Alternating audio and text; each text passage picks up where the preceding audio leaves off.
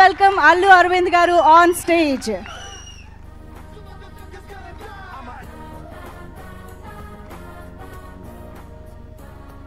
welcome sir sir అసలు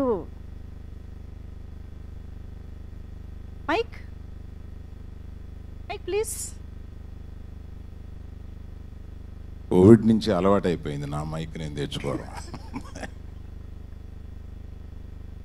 sir boxing పట్ల మీ అభిప్రాయం ఏంటి సార్? నేను పర్లేదు సార్ లేదు లేదు. మీరు మీరు కూర్చుంటే we will be very happy sir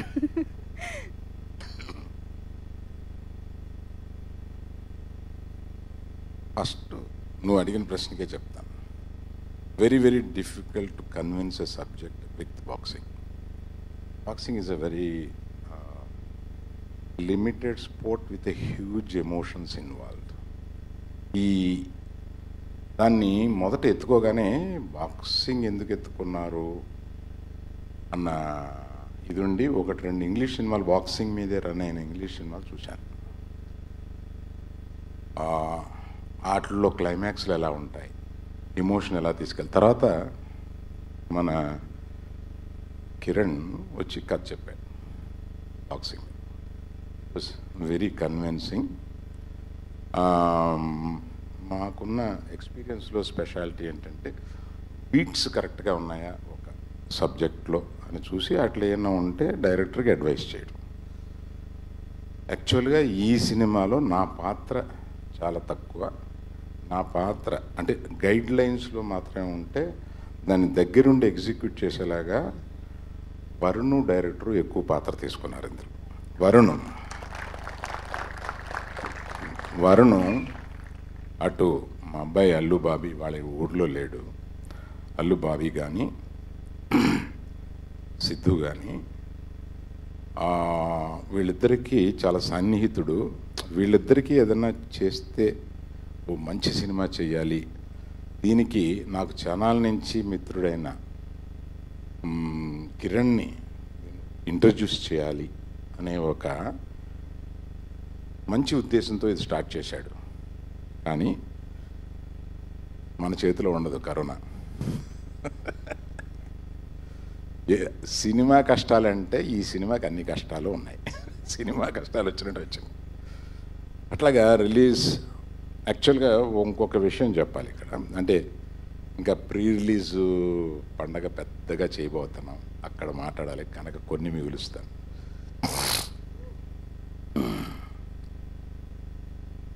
ఈ ఈ సినిమాని ఈ డేట్ పెట్టడానికి ఒక రీజన్ ఏంటంటే మనకి మన ఆడియన్స్కి పర్టికులర్గా ఫ్యామిలీస్కి సినిమా చూసే అలవాటు తప్పింది.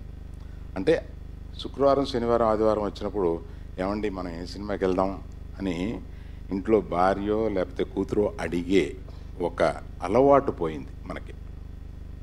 మనం ఏ ఈ ఓటీటీలో ఈ- ఈ- వారం ఏమేమి వచ్చినాయి అందులో ఏది బాగుందంట ఈ లాంగ్వేజ్ వచ్చేసింది మనకి.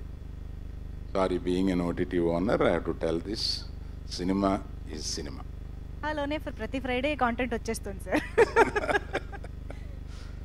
సినిమా ఇస్ సినిమా అలాగా ఈ అలవాటు వచ్చిన తర్వాత ఈ సినిమాని రిలీజ్ చేస్తే బాగుండు అని ఎందుకు అనుకున్నామంటే ఇందులో బాక్సింగ్ ఉంది కానీ ఇది ఫ్యామిలీ డ్రామా ఫ్యామిలీ డ్రామాకి ఒక బాక్సింగ్ అనే ఎమోషన్ కాకుండా బ్యాక్ ఎమోషన్ ఏంటంటే ఒక తల్లి కొడుకుల కథ. ఒక తండ్రి కొడుకుల కథ ఇది. అటువంటి ఎమో ఇంకెక్కువ చెప్తే కథ చెప్పేస్తాను వద్దు. అటువంటి ఎమోషన్ వెళ్ళి ఫ్యామిలీస్ రావాలి. మొదటి రోజున మన రెండో రోజున మన ఫ్యాన్స్ వీళ్ళు ఎమోషనల్గా బాక్సింగ్ గిక్సింగ్ మాస్ వచ్చినా కూడా ఇది ఇట్స్ ఎ ఫ్యామిలీ డ్రామా ఆ బ్యాక్ డ్రాప్లో ఉన్న బాక్సింగ్ ఎమోషన్ కనుక ఫ్యామిలీకి చాలా చూసే అవకాశం ఉంది ఈ సినిమాకి ఎక్కువ ఉంది. ఆ అలవాట్లోకి వచ్చిన తర్వాత ఈ సినిమా రిలీజ్ చేద్దాం అని అనుకుని దాటుకుని వచ్చి ఈ డేట్ పెట్టాము. And it it is one of the best dates and నా ఫీలింగ్ ఇందులో నేను వరుణ్ హీరోయే కాకుండా ఆ, డైరెక్టర్ వెల్విషరే కాకుండా ఇతను ప్రొడ్యూసర్గా ఎన్ని బాధ్యతలు తీసుకోవాలో అందులో మోర్ దెన్ ఫిఫ్టీ పర్సెంట్ బాధ్యతలు తీసుకుని తను నిర్వర్తించాడు. వీళ్ళందరూ బాగోవాలి. నన్ను నమ్ముకుని వచ్చారు. కాస్ట్ మనం అనుకున్న దానికి ఇంటూ టూ అయింది. ఇట్లాగా. అందుకని అవన్నీ హండ్రెడ్ పర్సెంట్ చాలా పెద్ద కాస్ట్ అయిపోయినా కూడా దాన్ని మించి లాభం కలెక్ట్ చేసే అంత మ్యాటర్ ఇందులో ఉంది నాకు తెలుసు. ఎమోషన్స్ అలా వర్కౌట్ అయ్యేలాగా వరుణ్ చేశాడు కిరణ్ తీశాడు. తర్వాత మనకి ఎవరికైనా ఏ వయసు అయినా కూడా ఒక అందమైన పాపం చూస్తే ఒక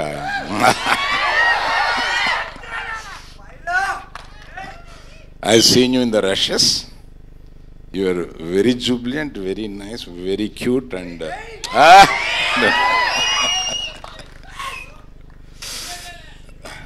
అసలు.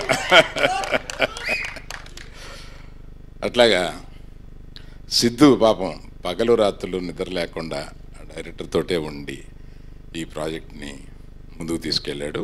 బాబేను ఇతను కలిపి ఒక మంచి అంటే ఒక ఇద్దరు పార్ట్నర్స్ ఎంత బాగోవాలో ఎంత బాగా కలిసి ఉండాలో వీళ్ళిద్దరూ నిదర్శనంగా చూపించారు అందరికీను.